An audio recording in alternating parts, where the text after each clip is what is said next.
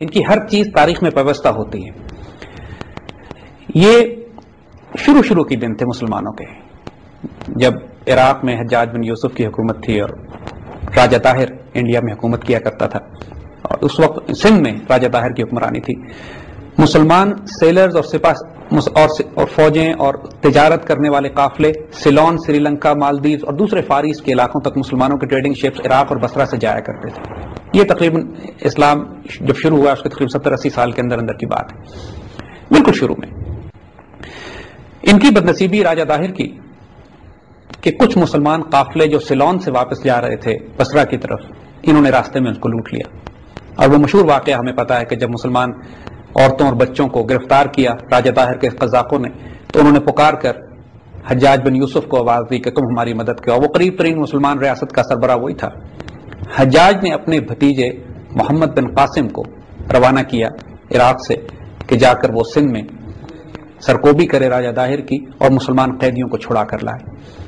That was the first major Muslim invasion on Sindh on India at that time वो वाक़ आप तारीख में हमारी स्कूलों की किताबों में पढ़ाया जाता है कि जब मोहम्मद बिन कासिम दीबल पे आए तो दीबल की फतह हुई।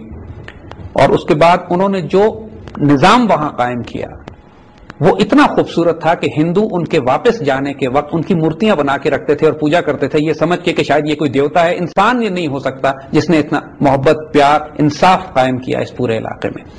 मोहम्मद बिन कासिम बहुत थोड़ा अरसा रहे यहाँ पे, लेकिन उस वक्त जो मुसलमानों की पेनिट्रेशन थी इस सिंध में, वो मुल्तान तक गई। यानी मुसलमान नीचे से बढ़ते हुए पूरा सिंध क्रॉस करके मुल्तान की रियासत तक पहुँचे। इस सारे साउथ से हिंदू बादशाहों और हुक्मरानी का खात्मा हुआ, मुसलमानों की हुक्मरानी कायम हुई। लेकिन और ये वो मौका था। इसी मौके के बारे में कायदे आज़म ने एक स्टेटमेंट दिया था कि पाकिस्तान उस वक्त कायम हो गया था कि जब इंडिया में पहला हिंदू मुसलमान हुआ था। यानी कायद आज़म ने भी रेफरेंस मोहम्मद बिन कासिम की इन्वेजन का दिया था कि पाकिस्तान का मतलब है इस्लामी रियासत जो हिंद में कायम होती है। और इस्लामी रियासत का क्याम मोहम्मद बिन कासिम के आमद से ही हो गया था। उसके बाद इस रियासत के जोग्राफिया तब्दील होता रहा। कि ये रियासत कभी छोटी होती रही कभी बड़ी होती रही और उसकी फाइनल शेप आज पाकिस्तान की शक्ल में हमारे पास मौजूद है। लेकिन one must give credit to Quaid Azam for having such beautiful and deep penetrating knowledge of history and insight into the philosophical dimension of it कि वो रिलेट कर सकते थे इस बात को रिलेट किया उन्होंने हमारे लिए। और काजाजम ने ही इसराइल की रियासत के बारे में स्टेटमेंट ये दिया था कि ये एक इलेजिटिमेट नाजायज रियासत है और पाकिस्तान कभी इसको तस्लीम नहीं करेगा। और ये लम्हा फिक्रिया है उन तमाम लोगों के लिए जो आज काजाजम के असूलों पर अमल करने की बात करते हैं और साथ ये कहते हैं कि इसराइल की रियासत से हमारे ताल्लुक भी होने चाहिए। So this was the beginning of the Muslim invasion of India बुनियादी तौर पर मुसलमानों के कदम जमे। लेकिन जो असल मुसलमानों ने दाखिला किया है शुमाली हिंदुस्तान में मीन दिल्ली की तरफ़ वो तमाम की तमाम मुसलमानों की आमद अफ़गानिस्तान और सेंट्रल एशिया से हुई over a period of time Iran मुसलमानों ने फतह किया फिर अफ़गानिस्तान फतह किया फिर सेंट्रल एशिया पहले फतह हुआ यानी मावरा नहर जो आमू दरिया जिसकी बात हमने अपने अफ़गानिस्तान के इश्यूज़ पे की थी आमू दरिया क्रॉस करने के बाद उस इलाके को अरबी में मावरा नहर कहा करते थे यानी जो कुछ जो नहर के परली तरफ़ है। हम्म। अरबी में उस इलाके का नाम नहीं था यानी literally it mean whatever is beyond the river तो वो तमाम इलाके सेंट्रल एशिया मुसलमानों ने फतह किए। और उसके बाद जब वो इलाके फतह हुए अफ़गानिस्तान और सेंट्रल एशिया के तो सारे वहाँ से वॉरियर्स आना शुरू हुए मुसलमान आना शुरू हुए हिंदुस्तान पर हमला करने के लिए। चाहे वो महमूद गजनवी हो चाहे तो, तो, तुगलक हो या गौरीज हो या गजनवीज हो अब्दाली हों जो भी सारा डायनेस्टीज जितनी भी मुसलमानों की फिर आई। वहाँ से वो एक दफ़ा दाखिल होते थे दर खैबर के ज़रिए क्रॉस करते थे वहाँ से सीधा दिल्ली पे आके रुकते थे। और कभी भी यानी जब से मुसलमानों की हुक्मरानी तकरीबन एक हज़ार साल से जायद मुसलमानों ने हुक्मरानी की है हिंदुस्तान के ऊपर उनमें जो आखिरी एम्पायर थी वो मुगल्स थे। यानी मुगल्स केम अराउंड 1560, 1570 और 1857 में उनकी हुकूमत का त्राकुल हो जाता है। लेकिन एक बात नोट कीजिए कि मुसलमानों ने एक हज़ार साल हिंदुस्तान पर हुकूमत की है मगर एक हज़ार साल में कहीं भी हमें कोई ऐसा वाकया नहीं मिलता कि मुसलमान हुक्मरानों ने तलवार की ज़ोर पर हिंदुओं को मुसलमान करने की कोशिश की हो।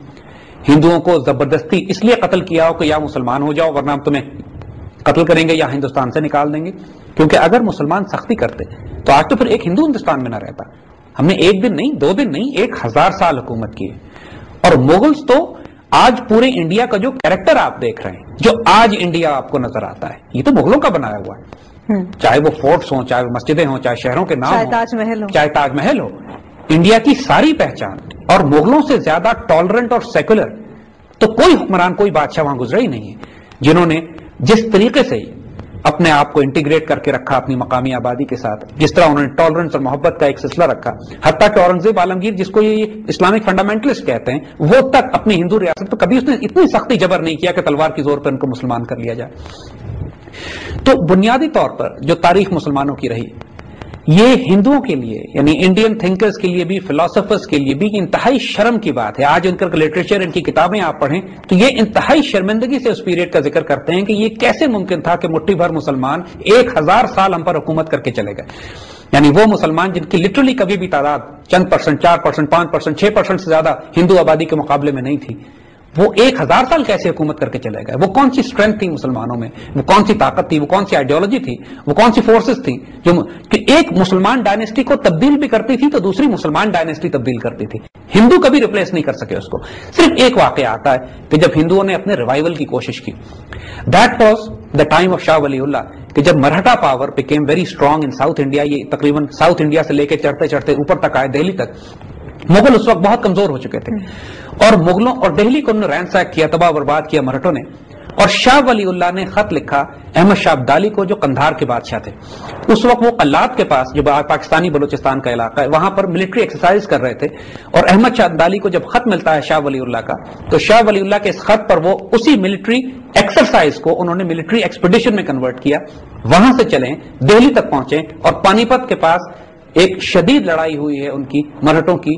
मिलिट्री पावर के साथ। मराठे उस वक्त फ्रेंच डिज़ाइन की आर्टिलरी गन्स यूज़ कर रहे थे फ्रेंच पहुँच चुके थे इस इलाके में और मराठे पूरी तरह French technology French musket French guns French artillery और अफगान के पास जो इस तरफ़ से आए थे उनके पास अपने वही पुराने जमाने के स्मूथ बोर आर्टिलरी और कैवलरी चार्जेस थे।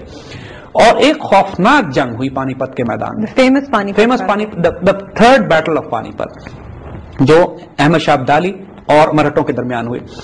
मगर उस जंग में मराठे क्रश करके रख दिए गए। यानी पूरी आर्टिलरी उनकी और पूरी उनकी कैवलरी मुसलमानों के हाथ आई। कैवलरी कत्ल हुई, घोड़े, हथियार, सामान, आर्टिलरी गन्स अहमद शाह अब्दाली के पास आई और दिल्ली दोबारा मुसलमानों के कब्जे में आया। मगर ये इतनी शदीद शिकस्त थी उस हिंदू पावर के लिए जो उस वक्त उठ रही थी। और मराठों ने मुसलमानों की ज़िंदगी आज़ाद की हुई थी दिल्ली में और सारे इलाके में। जब इनको इख्तियार और ताकत मिला तो ये पिछले 600 साल की अपनी महकूमी का बदला लेने पर आए।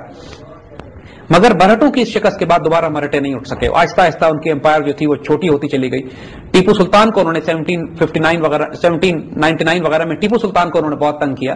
लेकिन बुनियादी तौर पर इनकी रियासत इतनी छोटी हो गई कि फिर पंजाब में सिख उठ गए। यानी सिखों ने आके फिर मराठों को रिप्लेस किया और सारा लाहौर से लेकर पिशावर तक और सारे इलाके जो थे सिखों के कंट्रोल में चले गए। Hold that thought it's time